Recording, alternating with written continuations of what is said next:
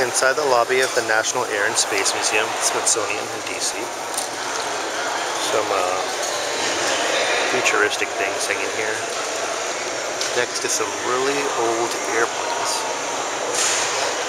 You know what amazes me about these planes is I don't didn't realize how large they are until you get up close to them. Look at the size of the wing on this tiny plane.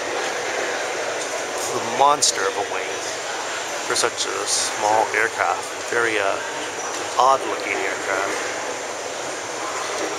And we have some more older airplanes here. Amelia Earhart's plane.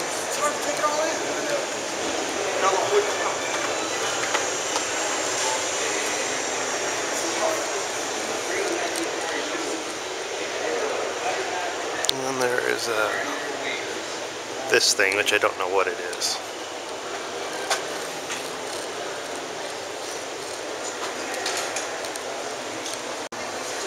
Brief view of the space section here. Not too much into rockets and spaceships. I like airplanes much better. But uh, case anyone likes rockets and stuff, here you go.